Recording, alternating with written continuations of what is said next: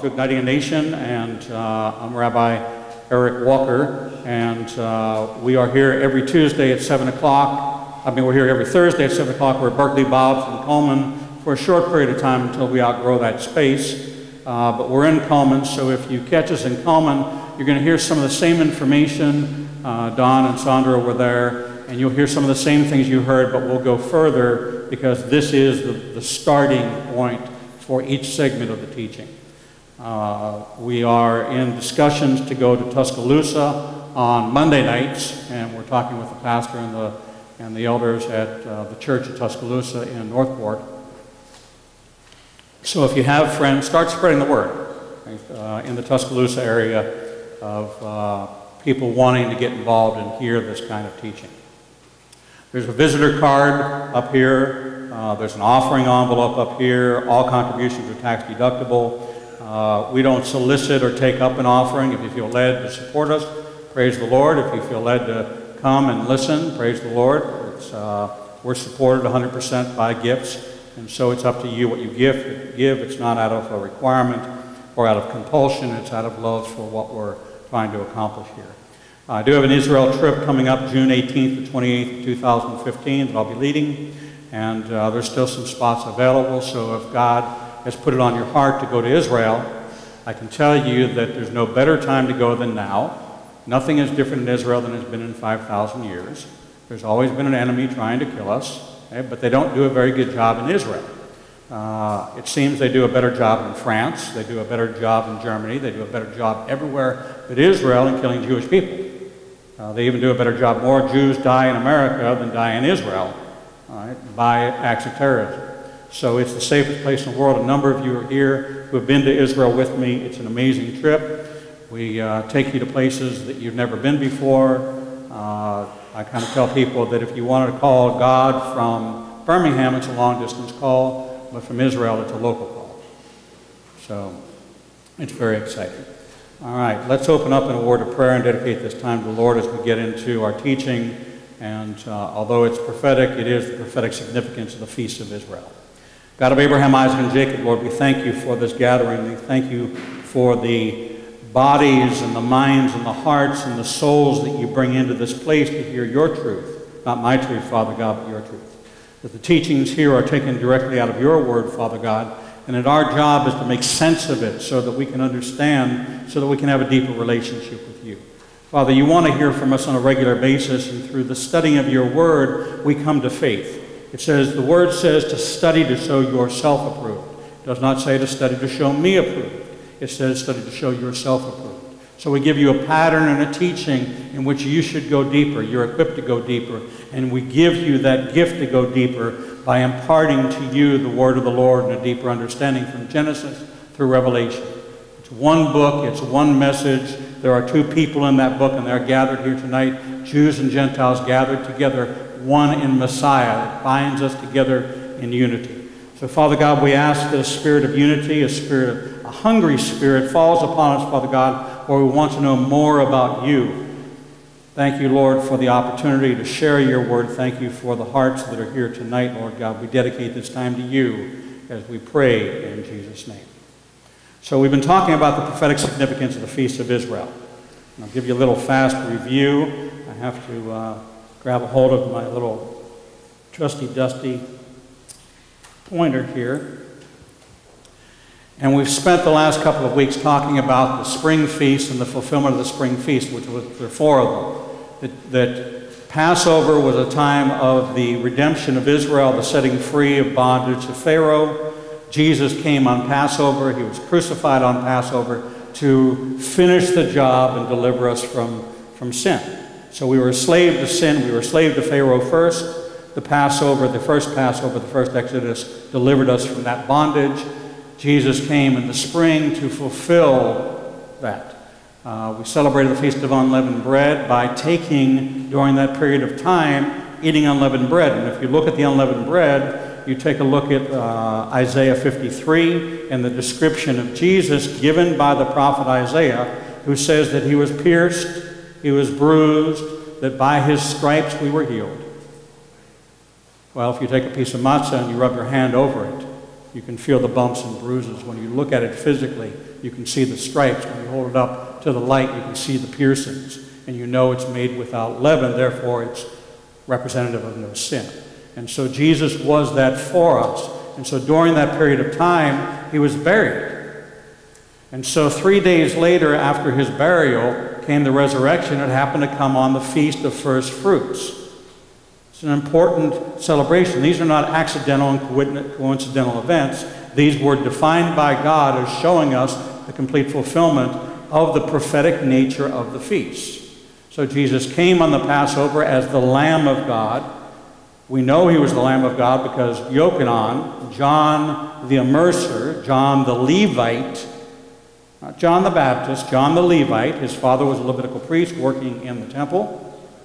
You remember that's how it all came about that, that he was struck uh, speechless because he challenged the angel of the Lord uh, about the fact that he was going to have a child.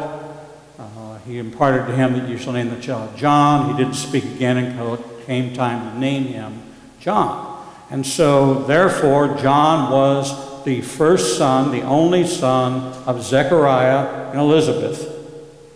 His father ministered in the temple, therefore, he was in the Levitical priesthood line. He was Levitical, he was a Levite. So he wasn't a Baptist. Baptist didn't come along until much later. So we know that he rose, the resurrection took place three days later on the Feast of First Fruits. And this was the harvest. This was when you lifted up out of the ground the sheath and you raised it up to the Lord. And so Jesus was literally first fruits raised up from the ground on this feast day, an appointed time of the Lord in Leviticus 23. And then 50 days later, 50 days from the resurrection, and it's an important date because the resurrection took place on a Sunday.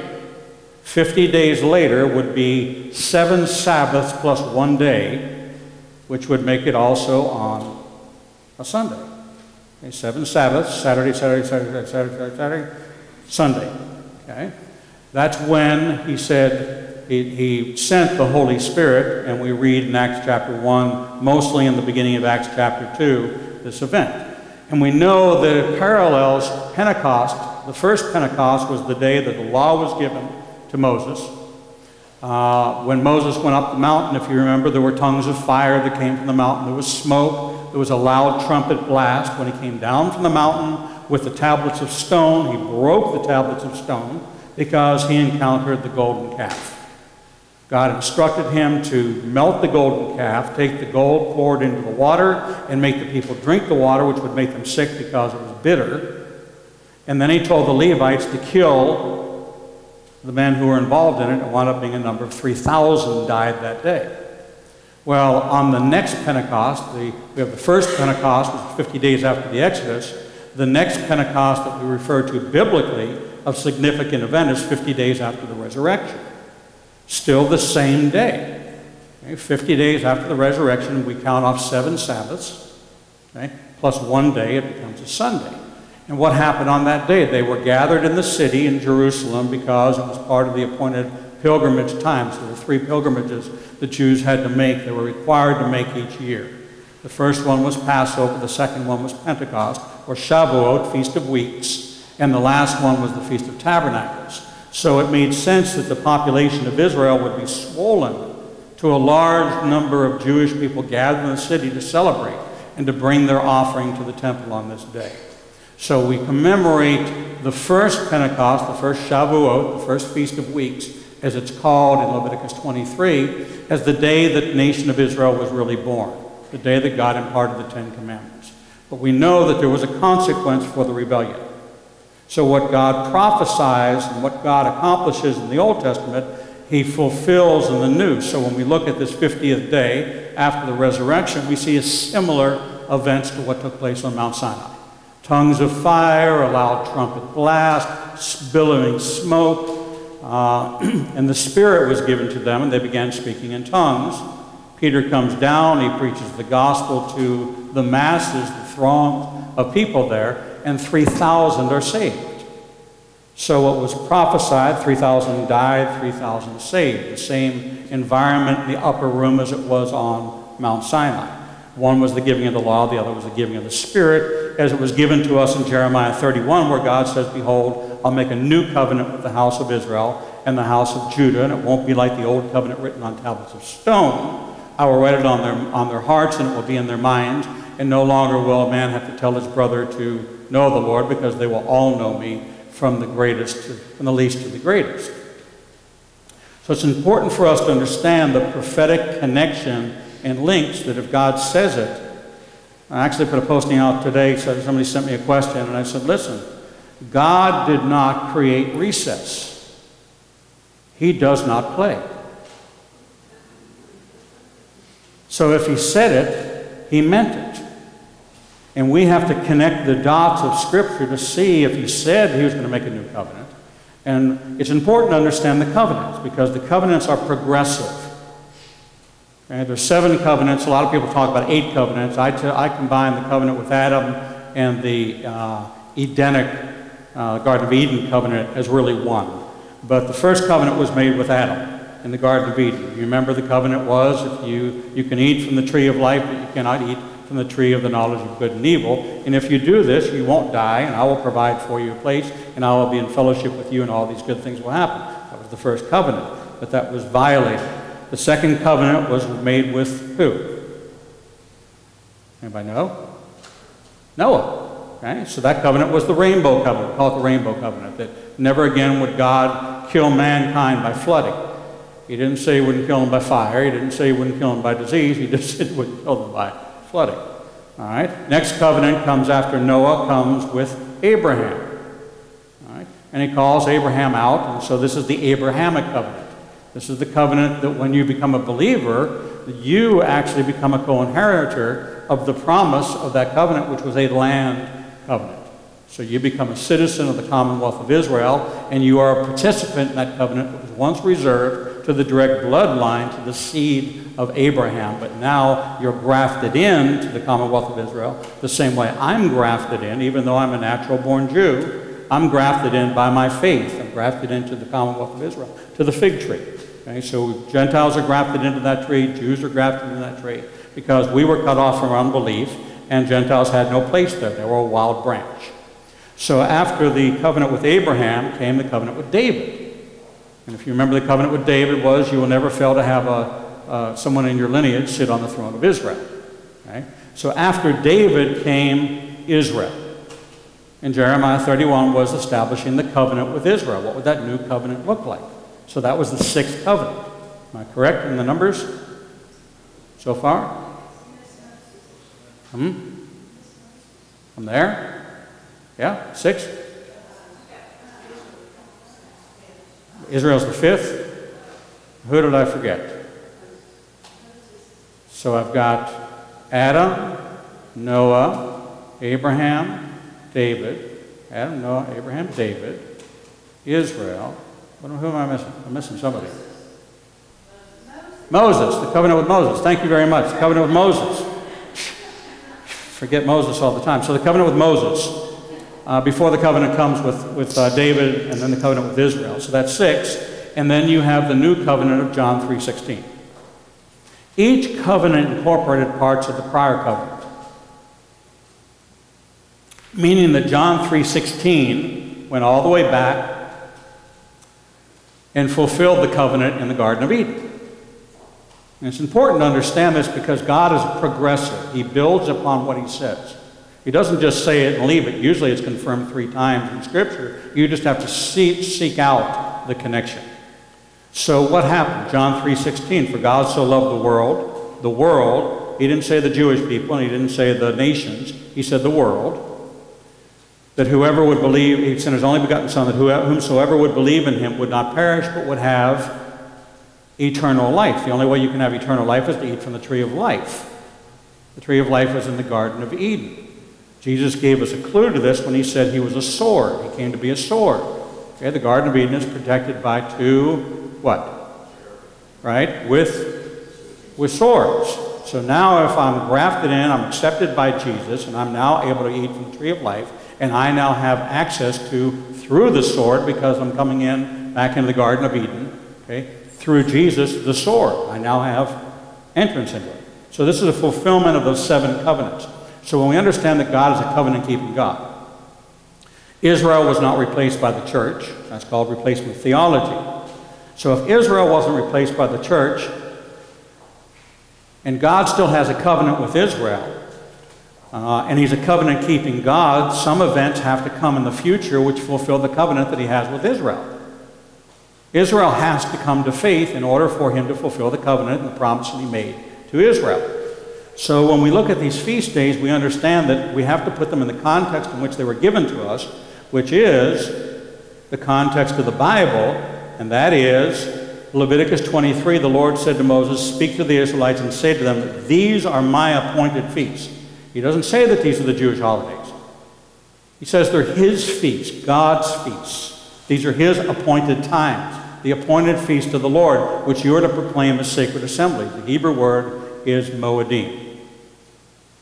So Jesus fulfilled prophetically, physically, in the natural, his entrance to Jerusalem on the day of the selection of the lambs. He was inspected for four days. He was nailed to the cross at the same time that the lambs were being tied to the altar. He took his last breath as the lamb was slaughtered. Blood and water were pouring out of the side of the temple because they slaughtered 250,000 lambs on that particular day. And there was so much blood that they had to take buckets of water. And if you looked at the side of the temple, blood and water were streaming out into the Kidron Valley. And blood and water were coming out of Jesus' side. So when he said to tear this temple down and rebuild it in three days, okay, he looked just like the temple. The temple was bleeding blood and water. He was bleeding blood and water. It was no longer allegorical. It was very literal. And it came to pass that in three days he rose from the dead. Now, there are times in the Bible where something is literal, both literal and prophetic. It occurred then, but it's such an outstanding representation, it's linked to a, another prophetic event. The prophetic event was the only time in the Bible that a nation came to faith. Anybody know when a nation, the only instance in the Bible when an entire nation came to faith? Do you remember when that was? No, Israel didn't come to faith as a nation. Nineveh. Nineveh is the only nation that ever came to faith. What was that tied to? That was tied to Jonah being in the belly of the fish for three days and three nights.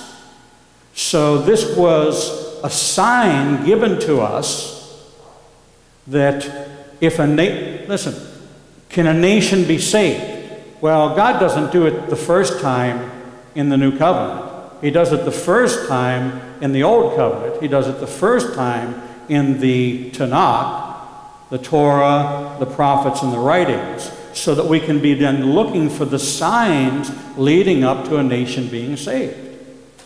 It's just like a father sacrificing a son. If Jesus just came to this earth and claimed to be the Son of God, and everybody acknowledged him as the Son of God, and the father sacrificed him, you'd be scratching your head and saying, What kind of loving father would commit such an atrocity of sacrificing his son. Imagine what DHR would be doing here in Alabama, all right?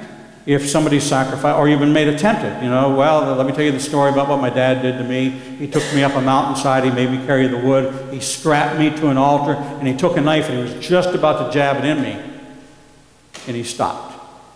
Would you think that they would take that child away from that father? Of course they would.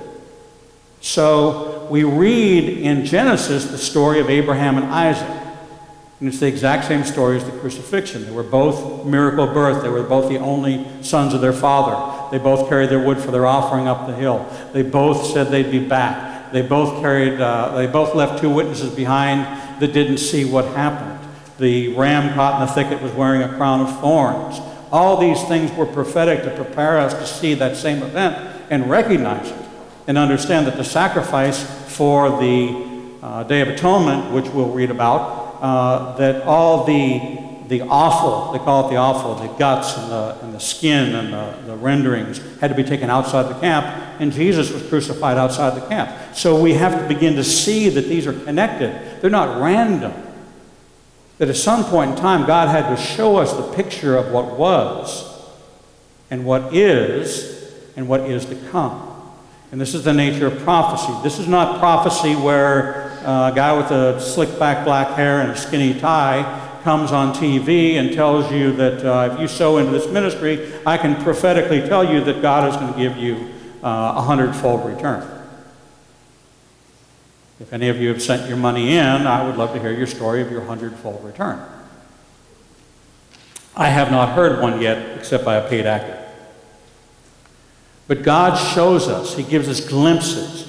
You know, there's an old expression that the Old Testament is the New Testament concealed,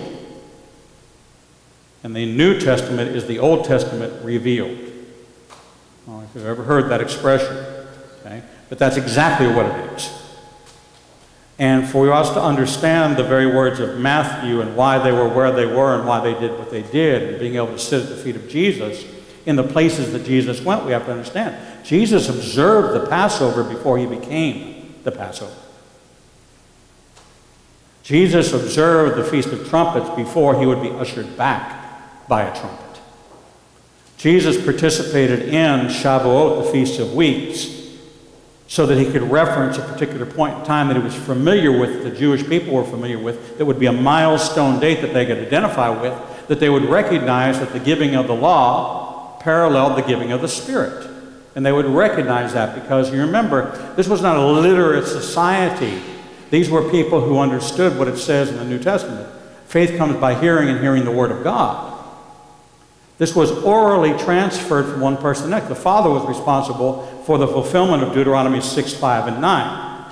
Deuteronomy 6, 5, and 9 says, Love the Lord with all your heart, with all your soul, and all your strength. And these words I command you today are to be on your hearts. And you are to teach them to your children. And you're to talk about them when you walk along the way, when you lie down, and when you get up. And you're to bind them as a sign between your forehead and write them on your hands and bind them on the doorposts of your house. So it was the responsibility of the father to impart the story of Torah to his children. It's not a matter of us being Torah observant, it's a matter of us being Torah aware. Because everything we need to know about the New Testament was given to us in the five books of the Torah.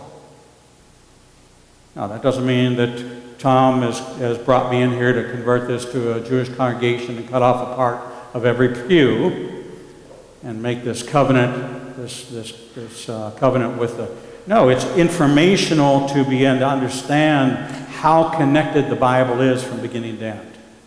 And that you uh, don't get a book and start on page 225 and feel like you got the whole book. You start on page one and you read through the book so that the whole story is laid out for you. So, our question becomes if Jesus came in the spring to fulfill the spring feast, would it not be logical that our expectation is he'll return to fulfill the fall feast? Make sense? There's three feasts. The Feast of Trumpets, it's called Yom Teruah. Yom, Y-O-M, is the Hebrew word for day. Teruah is not the Hebrew word for trumpet. Shofar is. Teruah is the sound the trumpet makes. It's a uh, onomatopoeia. It's a word that sounds like the sound, teruah. Okay, so when you hear teruah, you hear the sound of the shofar blast, the first blast is teruah. Okay, and it's got a sound to it. Uh, and I don't have my shofar with me to play the sound. I don't do them that well. Followed 10 days later by the Day of Atonement, followed five days later by the Feast of Tabernacles. So we're looking at the fall feast, and the very first feast was Yom Teruah, the Feast of Trumpets, also known in the civil world, and we talked a little bit about this, that it's called Rosh Hashanah, the head of the new year. It's the head of the beginning of the civil new year. And it's just the same as companies have corporate new years, school years start at different times. Uh, there's so many different new years in so many different ways uh, that it became the civil new year for Israel. Leviticus 23, again, because everything's contained in Leviticus 23 about the Moedim, God's appointed times. These are appointments, and they're very specific as to telling us whether or not it's for just the Israelite, or for the sojourner, or the person that lives with the Israelite, who is called Gerim, G E R I M. Okay, the individual is called Ger, and the group of individuals that lived with the Israelites are called Gerim. They're Gentiles that pitch their tents with the camp of Israel. Okay? This is what technically Messianic synagogues are all about, is that Gentiles and Jews who pitch their tent with the camp of Israel and worship in an authentic Jewish style, but yet maintain a faith in Jesus. So then the Lord spoke to Moses, saying, Speak to the children of Israel, saying, In the seventh month, that month happens to be called Tishri, on the first day of the month you shall have a Sabbath rest, a memorial blowing of trumpets, a holy convocation. You shall do no customary work on it, and you shall offer an offering made by fire to the Lord. Now, I want to share with you that in America and in festivals all over the place, people blow the shofar like it's a, uh, a call to worship, a call to celebration. Some congregations open up their service with a trumpet blast. But in Israel, there is only one day of the year and only one time of the year that the shofar is blown. Period. That's it. There is an opening trumpet blast. There is another blast that has meaning. There's the teruah, the tekiah, the shevarim, which is a, uh, and I'll explain that to you. Uh, and then the fourth one, which is the last trumpet blast, which is called Tekiah Hagodalah. Now we remember that Jesus will come at the last trumpet blast. There is a specific trumpet blast in Israel, which is called the last trumpet blast. It's not a random thing that somebody's going to wake up one day and Louis Armstrong is going to pick up his trumpet and blow the trumpet, and that's going to be the last one. We'll never hear the trumpet again. Every year for 5,000 years, 4,500 years, to me, everything's 5,000 years in the Bible, but for 4,500 years, this occurrence has taken place in celebration of the Feast of Trumpets, that this order of shofar blast would take place, culminating with the last trumpet blast. It's a frame of reference in Judaism that most Jewish people who grew up in the synagogue would recognize the expression, the last trumpet blast. They know exactly when that occurs in the service in the celebration of this feast. So the Feast of Trumpets, which is referred to as, as Rosh Hashanah, you don't hear about Yom Teruah. You don't go to the card shop and get a Yom Teruah card. You get a Happy New Year card. Okay? That's how it's become now as the Jewish New Year.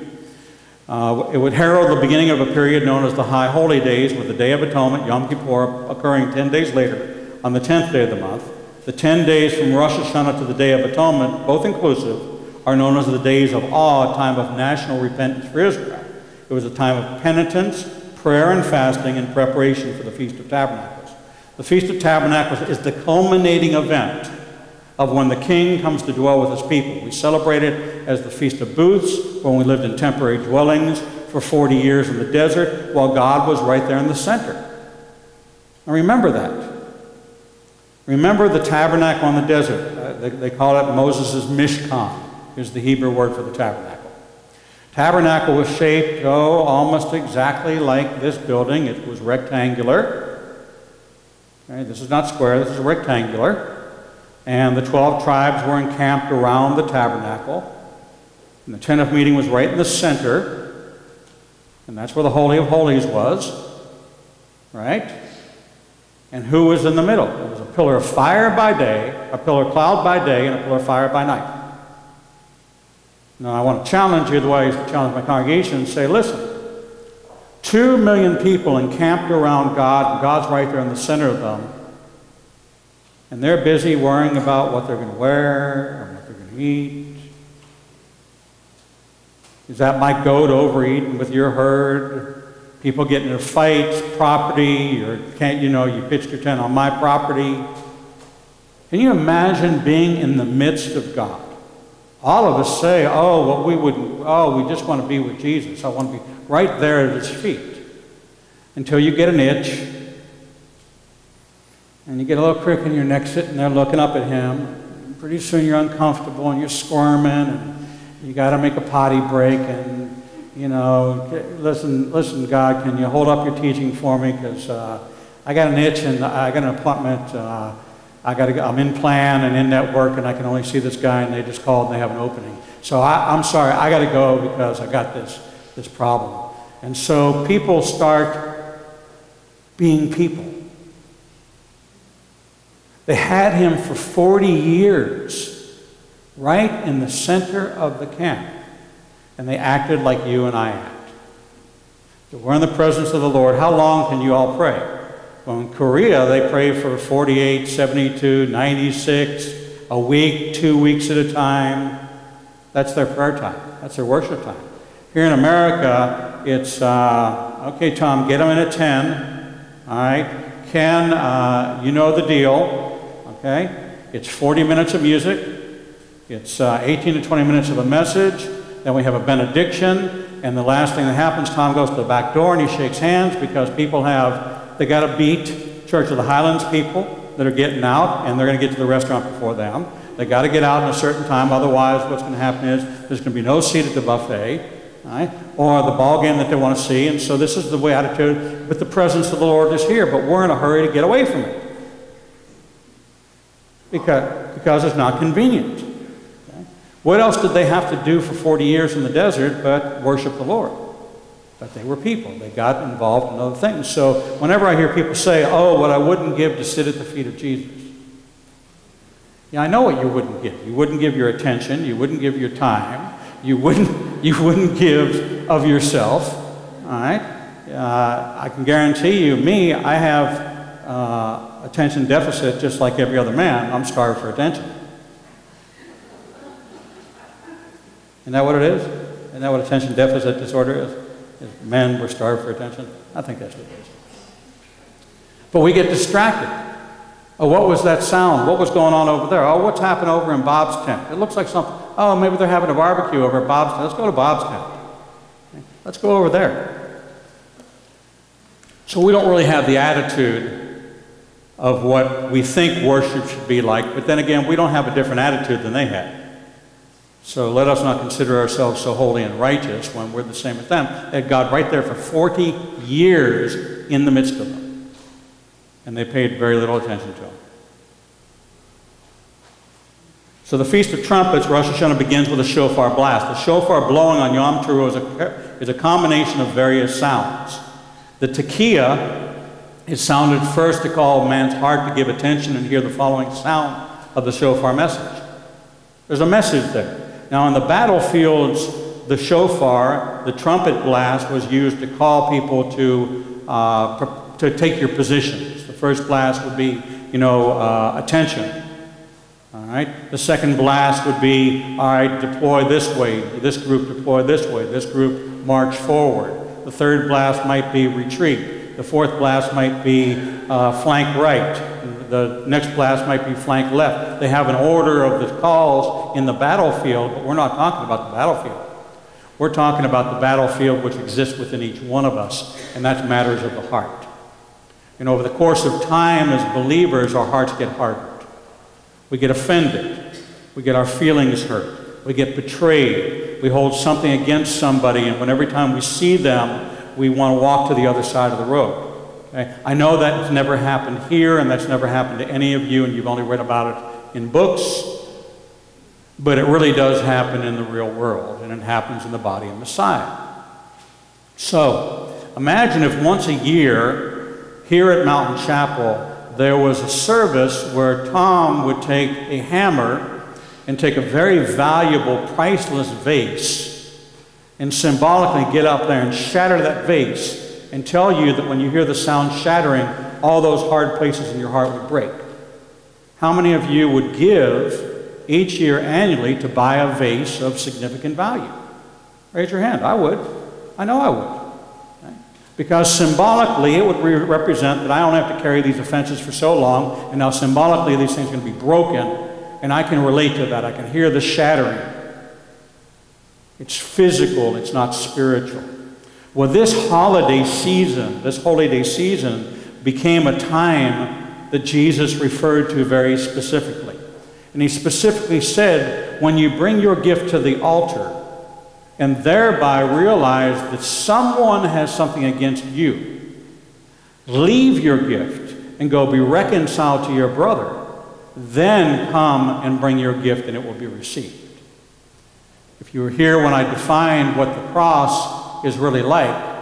The cross is horizontal and the cross is vertical. The vertical aspects of that have to do above the cross with our relationship with God, and everything below the cross is our relationship with man. Jesus was our sin offering, he was not our guilt offering. Guilt has to do with me and you.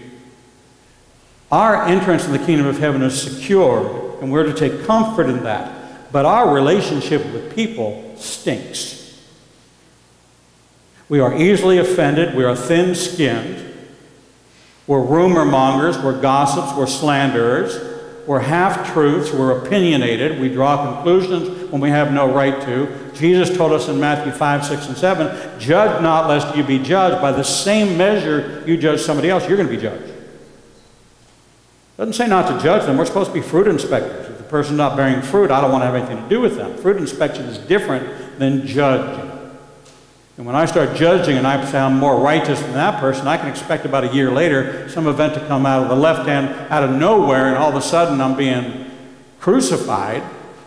So, well, how, why did that happen? I never did anything wrong. Well, about a year ago, you sat in judgment of that person and his activities, and you, you made some comments about him, and now God says, by the same measure, you're going to be judged. So it means we need to do it like they do in construction, which is measure twice cut once. Make sure that we're lined up long before we do it. And Jesus talked about that. Was he talking about this period? Yes. This was a traditional period of reconciliation. If you remember, Paul wrote in 2 Corinthians 5:17 that anyone who is a Messiah is a new creation. The old has gone, the new has come. You are being called into a ministry of reconciliation. That means every believer is in full-time ministry and the name of your ministry is reconciliation. You are called to be an ambassador of God as if God Himself were speaking through you. This is what being a believer is defined as in the Bible. It's not this nebulous terminology about, oh, I'm supposed to be this, I'm supposed to be that. But no, you're supposed to be a minister of reconciliation. You're supposed to be blessed are the peacemakers, for they shall know peace. Blessed are the meek, for they shall inherit the earth. The Sermon on the Mount was actually a commentary on the book of Deuteronomy. But we don't see it in that context because we call it the Sermon on the Mount, the Beatitudes, and we go down this path and we don't understand that he was saying that you heard it said, an eye for an eye and a tooth for a tooth, but I tell you.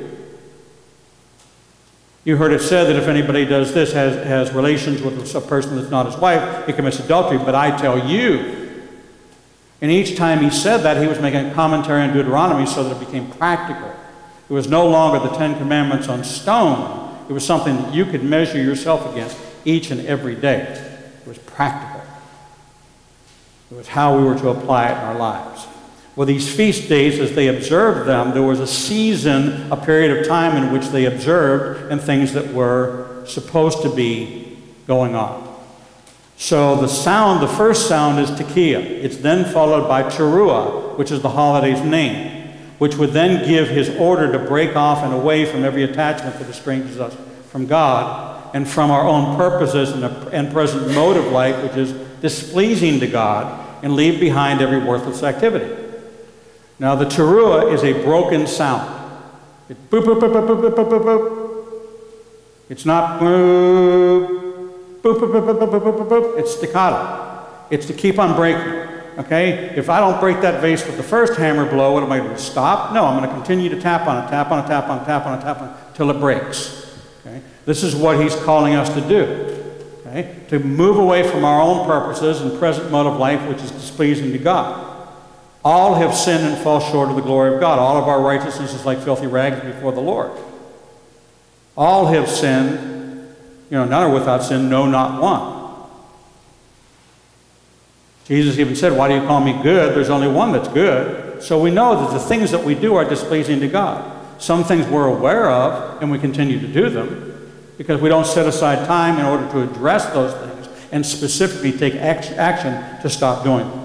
So, this period of time is a period of self reflection. It was established by God as a time when we just to have a holy convocation, a holy gathering, a Sabbath rest, a time with the Lord, and into His presence so we could examine our own hearts. Remember the passage of Scripture out of the abundance of the heart, the mouth speaks. Uh, who can know the heart? It's wicked above all else. Think about all those passages about the heart. He talked about scattering seed on the ground. Okay? Uh, the heart has to be prepared in order to receive. Right? That, that circumcision, physical circumcision, is not salvation. Circumcision of the heart is what God is looking for. And so the broken sound reminds us that we have a job of breaking to do as well, and it's the breaking of our evil inclination. I know that the lost tribe of the house of Israel, the Essenes, actually come to this place uh, two times a year. You know about the Essenes, right? Uh, they come on Easter so they can be seen by everybody, and then they come back on uh, the candlelight service so they can be seen again. All right, that's the lost tribe of the Essenes. Well, this is the way it is in traditional Judaism today. Okay, these holidays, I call them the Essenes. Okay, the lost tribe of the Essenes come so they can be seen on the high holidays and they can get the best seat in the sanctuary. Well, Scripture talks about that. Okay? And in the traditional synagogues in town and every city that I've ever lived in, and I've been a part of a synagogue in every city that I've lived in, that the big givers get the front seat. And everybody knows that they're the big givers. Okay? And over the ark, see, it would be kind of like saying, seeing above here, right over there, saying, this space available, your name here. Because in the synagogue over the ark will be a brass plaque that has the name of somebody. Pizitz or somebody that was in the town here in, in Birmingham, the Hesses or whoever, were the wealthy contributors. Okay? And the sign would be up there for everyone to see. So it's a great fundraiser, Tom. This space available, your name here. Okay? And we could have somebody come and carve it in there and scroll it in there. It'd be lovely. Um, we can give them a little doorknob for 500 we can give them the end of a pew. See, this is where the church misses out. In, in uh, synagogues, every seat has a brass plate. Somebody had to pay for the seat. See, it's a great fundraiser. Okay? We had a prayer wall, and you could buy a leaf. That's how we did it. Because I didn't want to mark up the pews, I spent too, many time, too much time fixing them.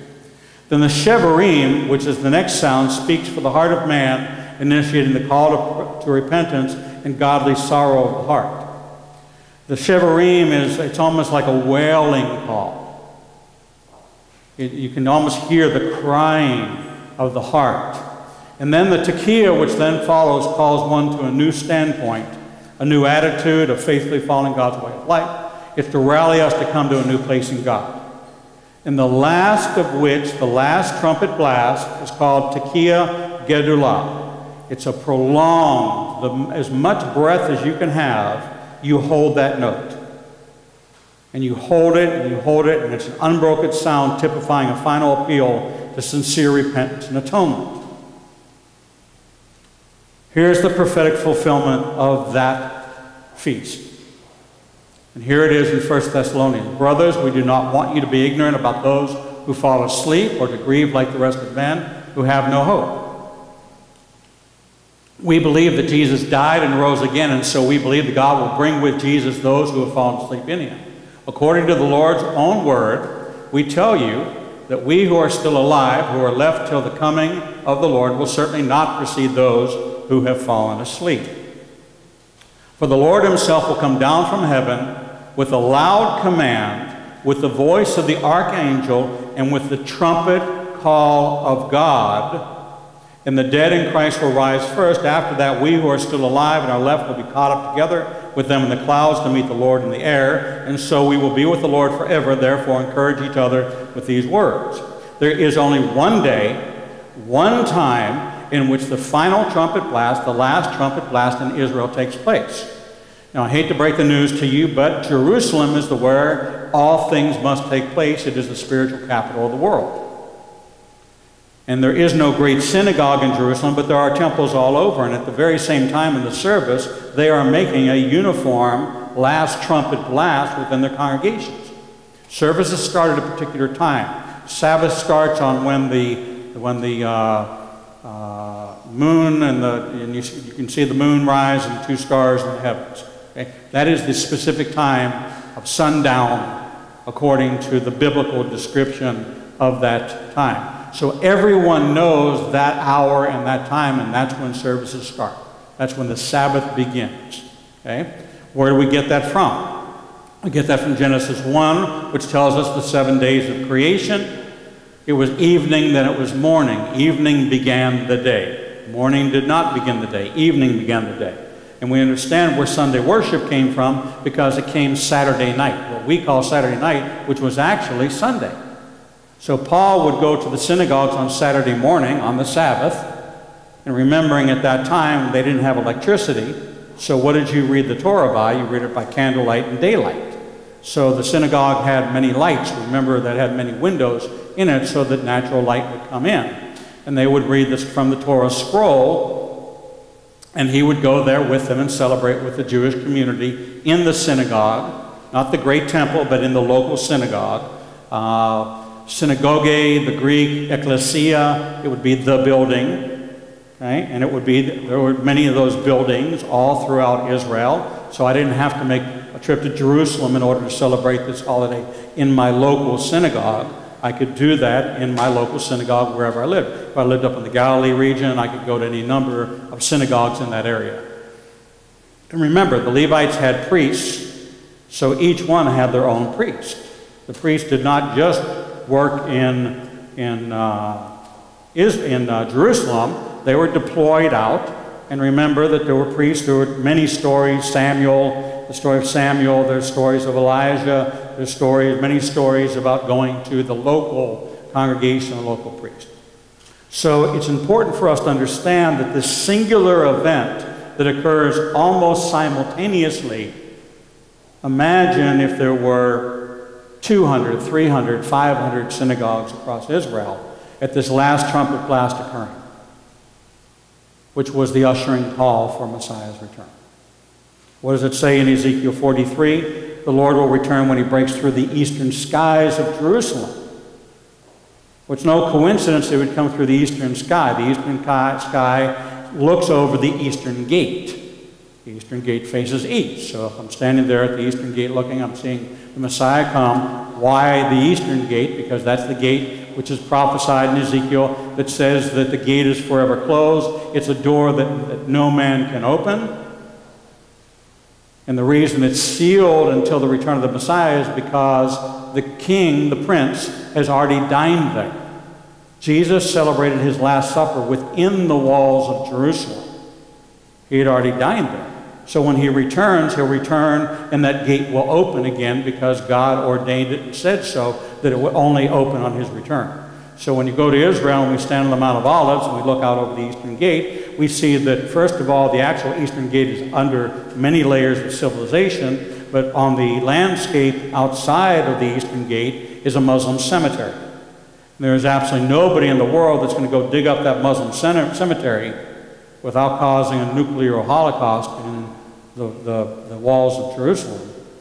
Uh, so nobody even walks there. Nobody even goes there. Nobody even thinks about how they're going to open it. They just accept the fact that it was bordered up. The Turks, the Ottoman Empire bordered it up, walled it up. The Muslims built a, a uh, cemetery there, and cemeteries are sacred ground, regardless of who's buried. When I go to a, to a Christian cemetery, it's sacred ground to me because from the dust of the earth we go, dust of the earth we return. We talk about the land of Israel, we talk about the land here, although we have these vaults. I still believe in my heart of hearts that somehow they can make it back into the earth. So the earth in a cemetery is the culmination of our loved ones.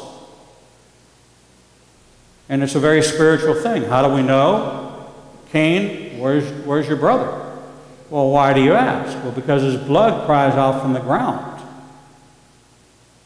Interesting concept. Leviticus 11, uh, 7, 11 17, 11, uh, for the life of the thing is in the blood, and the blood for making atonement. So Jewish people are not embalmed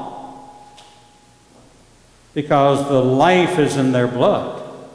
So that's why they're usually buried within 24 to 36 hours. You see, uh, some young man died in Israel, he's buried the next day. don't embalm. Embalming is not part of Jewish tradition. Why? Because if you remove the blood, the blood, the life blood, they can't be resurrected. And each Jewish person is buried with his head facing east. Even if the headstone is at their feet, they're buried so that they're raised up facing east. All traditional Jewish burials are done that way.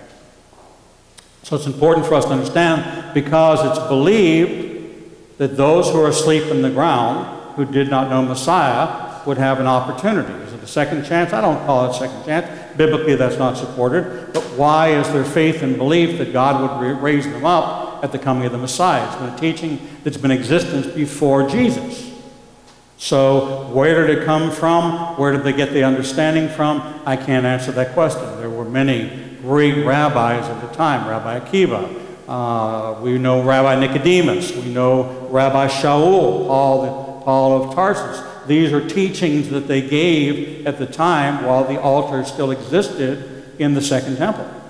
So, what about life before the Second Temple was destroyed? What about those parallel period of time where even though the curtain was rent in two, the priest still went behind the torn curtain and made sacrifice until 70 AD. So from 33, the age of 33, when Jesus died, for a period of 37 more years, the temple still stood. And people continue to come for the Passover, they continue to bring their offerings, and they continue to celebrate the Day of Atonement, which we will talk about next week because we've hit our time.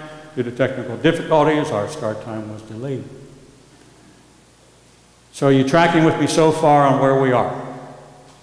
It's making sense to you that these are prophetic feasts and they're important prophecy because they line up with what was told to us in the teachings in the New Testament. In order for us to understand 1 Thessalonians, we have to understand Leviticus 23. We have to understand the observance and why these traditions exist and how these patterns of behavior came into being. Because when Jesus returns, he's going to rule and reign for a thousand years from a temple in Jerusalem that's going to operate just like the first temple did, and just like the second temple did. And he's going to operate the third temple. And then we read that that third temple will be defiled, and therefore, what happens? After the battle, there'll be a fourth temple, and then there will be no more temple. Because you won't need the temple because you have the new heaven and the earth, the new Jerusalem comes down from heaven.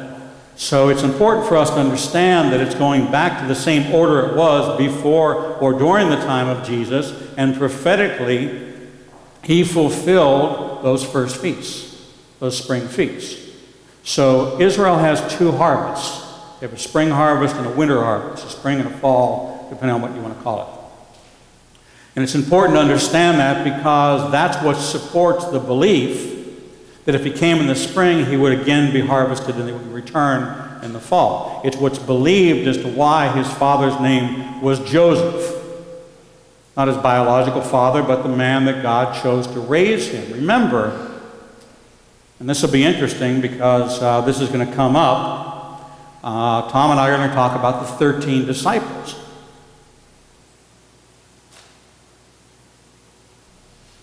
Nobody wants to tell me there were just 12? The 13 disciples. Jesus was discipled by the Pharisees for 30 years. He was the first disciple. Remember, he lived in the temple life. He lived in the temple world. He was raised in a Pharisaical world. He was taught by Pharisees. He was discipled by Pharisees. That's why he could speak to what it was that the Pharisees taught because they were raising him up and training him as a Jewish boy. He was the first disciple. He was the teacher. In order to have been the teacher, he had to be a student for a season of his life. Thirteen disciples. The twelve we know by name, the one that we never think about as a disciple. What about his youth? What was he doing during his youth? Twelve years old, he was sitting in the temple at the feet of the rabbis, having a conversation with them as one who had knowledge. They were debating Torah.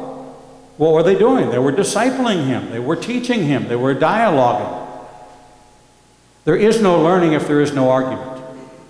If everybody's in complete agreement, you haven't learned anything. It's when you argue with me and you take a position and take a point, and we discuss that point and we come to a conclusion that you have learned something because it's moved you past your point of comfort. That's Jewish teaching. It's a Socratic method of argument.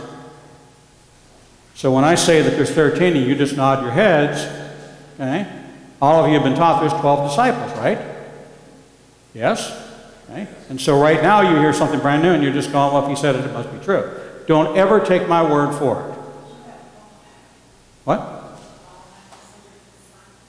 Was Paul considered a disciple? Was he with Jesus? Right, but he didn't spend he didn't spend three and a half years at his feet. Right. So 13. Jesus was the first. Yes, sir. Why is it important to say that there are 13 disciples?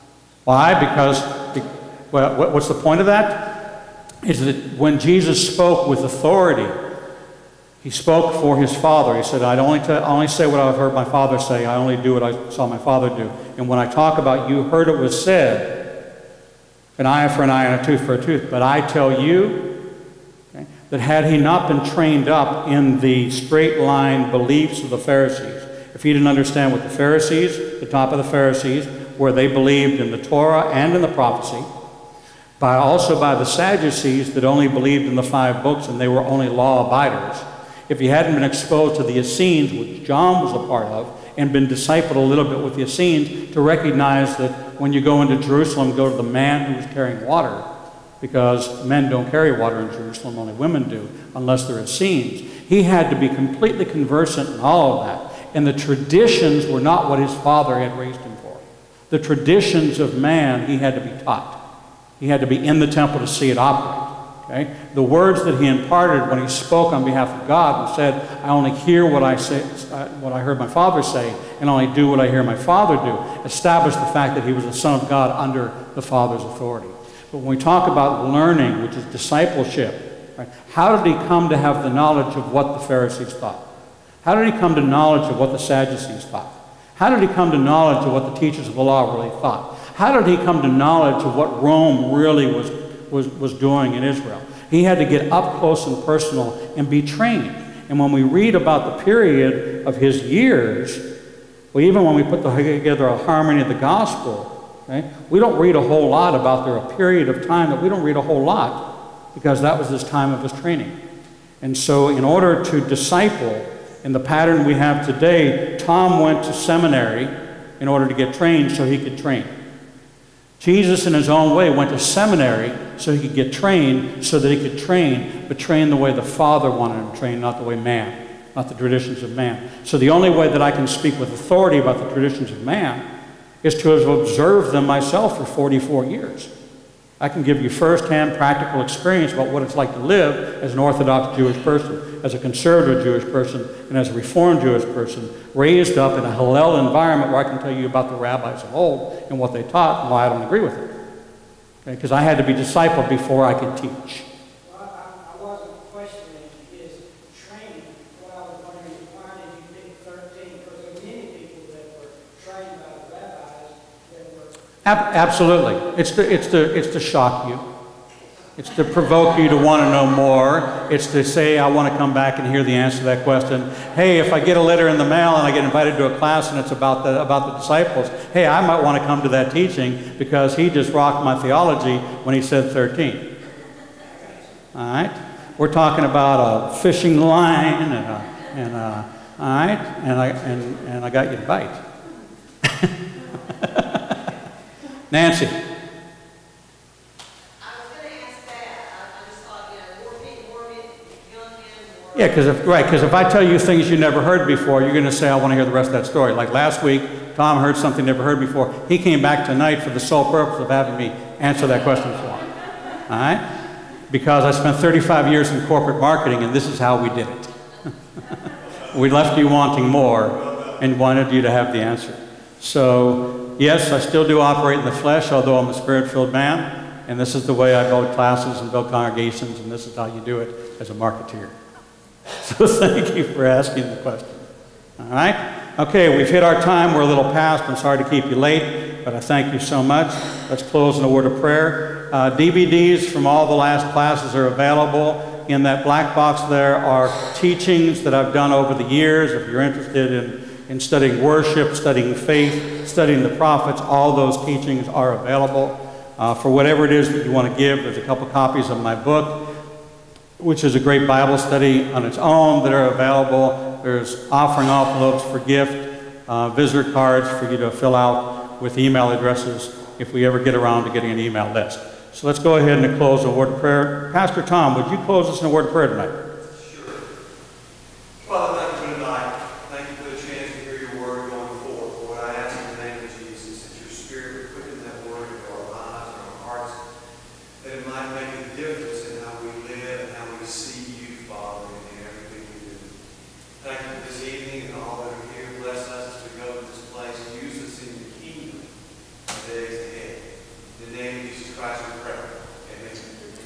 Amen. Thank you. You are dismissed.